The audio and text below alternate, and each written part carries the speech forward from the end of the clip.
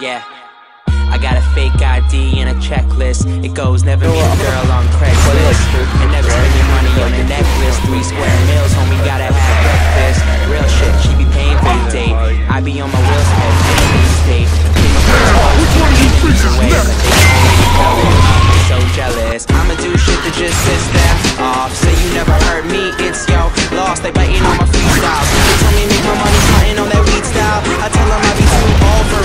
Gave my brother my ID. She independent, bet these bitches never find me. I hope they don't find him, Though.